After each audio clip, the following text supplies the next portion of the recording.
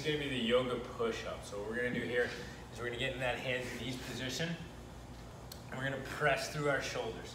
As we press through our shoulders, we're gonna hold that position as we move back into a downward dog position, pushing through our shoulders the entire way. So as we come back out, we don't wanna sink back down. We wanna maintain that press through. We push back, we keep pushing, we're gonna hold for a few seconds, then we come back out, still in that pressed up position. And then we go back.